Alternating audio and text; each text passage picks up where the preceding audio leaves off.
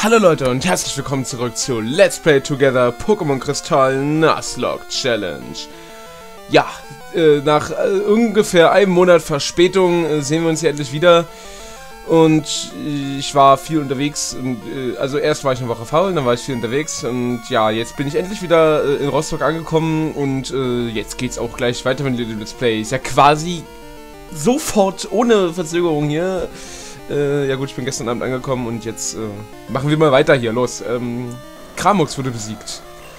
Ja, ist auch cool, wenn man hier erstmal so alles sich einrichtet, während man noch redet und dann äh, erstmal äh, das Let's Play überhaupt anfängt. Ich habe gerade noch mal das Fenster in die richtige Position gezogen.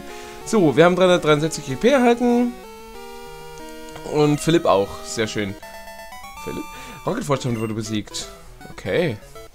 Das darf nicht wahr sein! Ich habe mich so angestrengt und dennoch verloren! Ja, hast du. Gut, äh, wo auch immer ich hier bin, schon wieder im Rocket-Turm.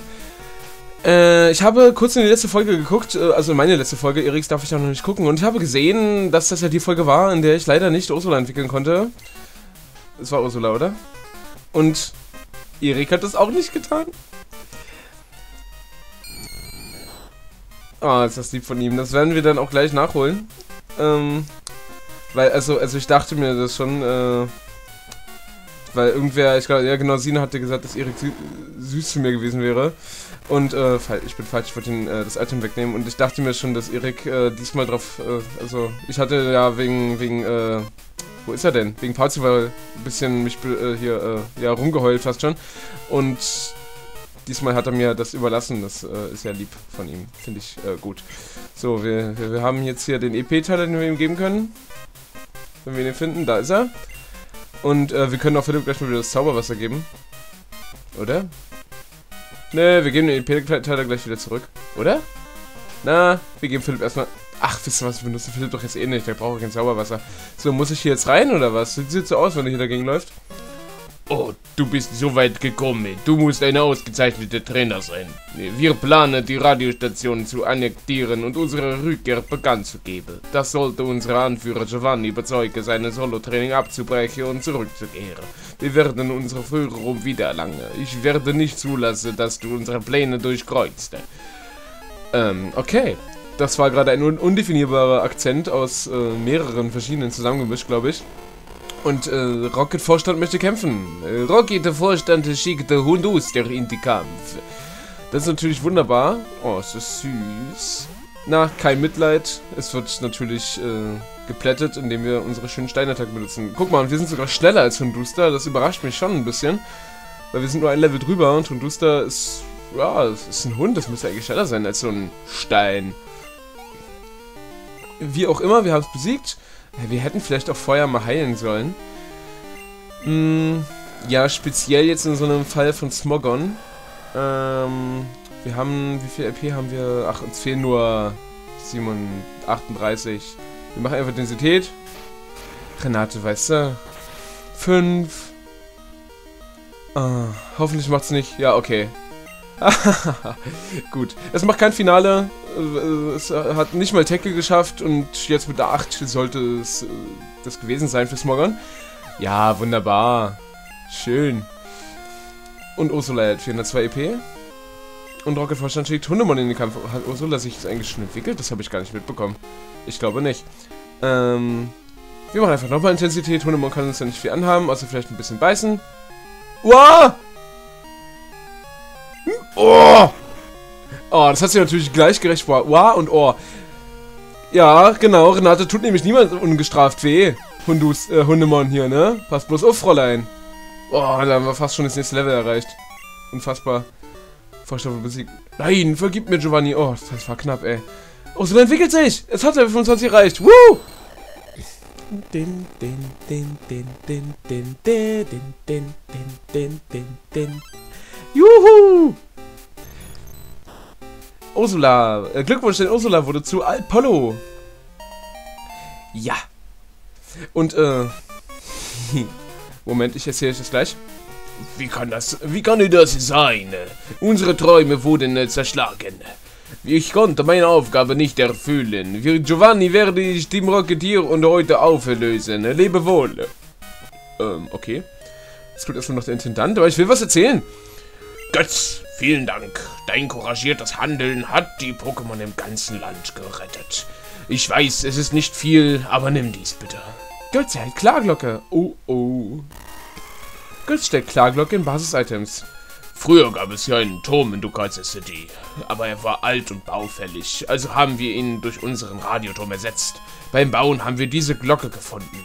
Ich hörte, dass früher viele verschiedene Pokémon in Ducatia City lebten. Vielleicht hat diese Glocke etwas mit dem Zinnturm in Teak City zu tun. Ah, das erinnert mich. Ich habe Team Rocket zufällig flüstern hören. Es scheint, als fürchten sie etwas am Zinnturm, im, als führen sie etwas am Zinnturm im Schilde. Ich habe keine Ahnung, was vor sich geht. Vielleicht solltest du es überprüfen. Okay, ich gehe in mein Büro zurück. Alles klar. Dann gehen wir in dein Büro zurück. Ähm, ich wollte erzählen, dass bei der Entwicklung kommen doch immer diese Funken sozusagen, dieses, diese, diese Bällchen, die da so sich in einer Spirale bewegen, äh, wenn das Pokémon, wenn das neue Pokémon gezeigt wird, da ist noch ein Item. Und äh, das ist nur, der, die, die sehen zwar bunt aus, aber ich habe festgestellt, wir haben Hyperball gefunden, schön, äh, die sind gar nicht bunt, sondern die wechseln nur alle paar Millisekunden ihre Farbe und das sieht dann so aus, als wären sie bunt. Das ist voll der coole Effekt, finde ich. Sag mal, äh, wo ist hier eigentlich sein Büro, wenn er hier unten... Ach, egal, wir gehen jetzt einfach raus. Ähm... Ja, also ich finde, das ist voll der coole Effekt und so und ich finde das äh, voll cool. Ja, das wollte ich sagen. Genau das. Äh, ich hoffe, wir finden hier den äh, richtigen Weg. Ja, wir werden schon irgendwie hinkommen. Ja, genau. Ist mein Mikrofon eigentlich schon wieder so leise eingestellt? Ich weiß gar nicht, was hier los ist. Ist, so weit, ist das vielleicht so weit weg von meinem... Naja, egal. Das werde ich dann bei Audacity zur Not lauter stellen. Jetzt komme ich hier nicht mehr weg. Okay. Und jetzt wieder runter. Aber doch, jetzt ist es, glaube ich, besser. Jetzt habe ich das Mikrofon näher am Mund und jetzt hört man mich auf einmal besser. Ja, ist natürlich hyper professionell wieder, dass ich das jetzt hier alles schon wieder so verkackt habe. Wie hoch ist denn der scheiß Turm? Ich renne hier die ganze Zeit rum. Äh, noch einen runter. Bin ich jetzt zwischendurch wieder hochgerannt oder was? So hat sich jedenfalls angefühlt. Noch weiter runter. ist unfassbar. Aber an den Raum kann ich mich erinnern. Ah, hier ist unten. Das weiß ich. Wollen wir wieder einen Lamus gewinnen? Nee, ist ja auch fies. Ach Quatsch, mit einem Lamus irgendwas anderes gewinnen. Ähm, dann gehen wir mal jetzt äh, ins Pokémon Center und gehen Renate heilen. Ja, ja. So. Guten Tag, willkommen im Pokémon Center. Wir heilen deine Pokémon und machen sie wieder fit. Ja, bitte. Okay, wir benötigen deine Pokémon. Habe ich sie jetzt nachgeäfft? Ja, ich habe sie nachgeäfft. Vielleicht merkt sie dann, dass sie ganz schön dumm spricht. Danke, deine Pokémon sind topfähig. Komm jetzt wieder vorbei. Dankeschön. Ich dachte mir, ich lese das mal wieder vor, nach so langer Zeit, wo wir das nicht gemacht haben. Ähm. Ja, Leute. Was machen wir jetzt eigentlich? ähm. Götz. Siehst du, wir haben noch eine letzte Arena vor uns. Aber kein Pokémon, mit dem, mit dem wir diese Arena betreten können.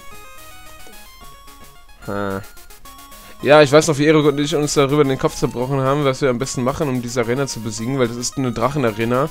Und gegen Drachen, äh, es sind auch Dratini dabei, die können Elektro, die können Wasser, die können Eis, die können alles.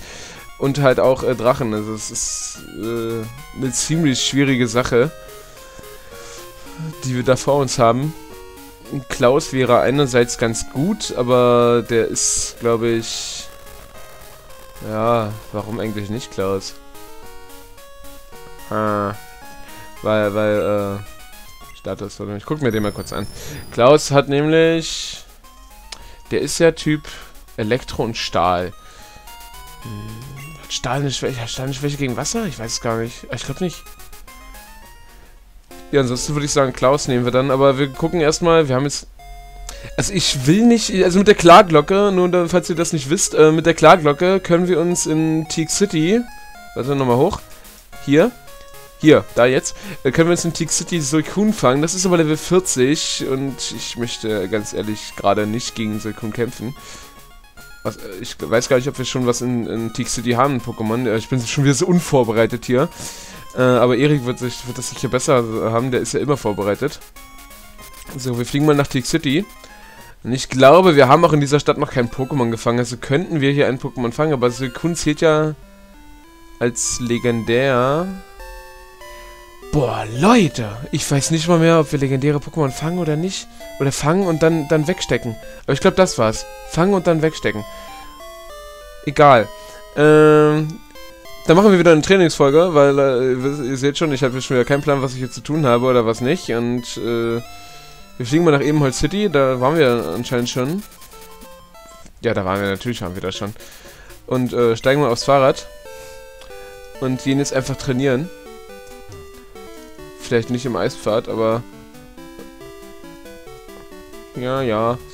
Weil ich weiß gerade schon wieder nicht, was ich machen soll. Ich will Suicune nicht fangen, weil äh, ich habe Angst davor und ich fühle mich nicht stark genug, um gegen ein Level 40 Suicune anzutreten. Und ich äh, will, will, äh, will Suicune nicht fangen und ich weil, kann nicht in die Arena gehen und ich weiß auch gar nicht, ob wir die, äh, also wir, wir, wir schaffen die Arena noch nicht. Wir brauchen erstmal ein Pokémon, äh, was da hilft. Das ist die Dunkelhöhle. Äh, hatten wir Blitz, Blitz dabei? Ach, Norbert konnte Blitz. Oder war das mein anderes Let's Play? Oh, ich fühle mich so doof. Aber ihr müsst jetzt mit klarkommen. Ab der nächsten Folge weiß ich wieder über alles Bescheid. Macht euch keine Sorgen. Ich guck mal, wer von uns Blitz konnte. Blitz halt den BCM, Blitz PC. Ja, so macht mein Computer auch immer. Eurer nicht? Äh, nein. Oh, warte. Konnte Elfriede Blitz? Ne, Elfriede konnte Zerschneider. Ja. Kann man es ihr beibringen? Also ich weiß, dass man Ultrigari Ultrigaria Blitz beibringen kann, aber... Ja, ja, mit Pokémon, ja, wird das Spiegel, bla bla bla, genau. Auf jeden Fall Ultrigaria kann man Blitz beibringen, weil ich hatte mal ein Ultrigaria, das Blitz konnte. Äh, aber ich will jetzt nicht Elfriede extra zur VM-Hure machen, deswegen. So, wir gucken mal hier. Nee. Nee. Nee, die können alle keinen Blitz, soweit ich weiß. Ach, unsere schönen Pokémon alle. Dörte. Kann Dörte Blitz? Nee. Aber Furienschlag. Andreas. Andreas. äh, ja. Norbert kann auch kein Blitz. Ah, ich hatte äh, mein, ich hatte in dem anderen Let's Play mein Ninjask Norbert genannt, äh, nicht Let's Play, sondern als ich selber äh, Saphir gespielt habe, habe ich mein Ninjask Norbert genannt und mein Ninjask äh, konnte äh, Blitz. Und deshalb kam ich auf Norbert. Ach, seht ihr, wir können gar nicht mehr viel trainieren. Wir können schon wieder nur Schwachsinn machen hier, weil die Folge schon wieder fast vorbei ist. Aber irgendwer muss doch Blitz können. Äh, ich guck nochmal. Warte mal. Ich, ich fange von unten an, da bin ich jetzt nicht so gerade. So, also Norbert kann keinen Blitz, Andreas kann keinen Blitz, Dörte kann keinen Blitz, Doris kann keinen Blitz, kann Doris Blitz? Kann überhaupt ein Pokémon von uns Blitz? Waltraud, Detlef, Bertram, Jutta, Carpador, Smogon, äh, Frieda, Gertrud, Günther, Wolfram. Wolfram, also ehrlich, Goldini, Heinz, kann kein Blitz, Karados, Volker, Ulf. Die können alle keinen Blitz. Wen haben wir denn dabei? Oh, ja, danke. Julius, Schuljunge. Jetzt doch! Ich, Julius, ist heute nicht schön?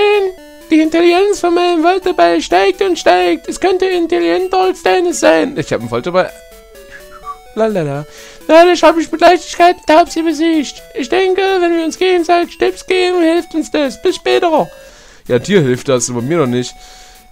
Und äh, ja, ich kann nicht sechseln. Ist okay. Ich kann nur Hallenserisch, aber da müsst ihr mich jetzt nicht für dissen, nur weil ich das jetzt einfach so trotzdem gemacht habe.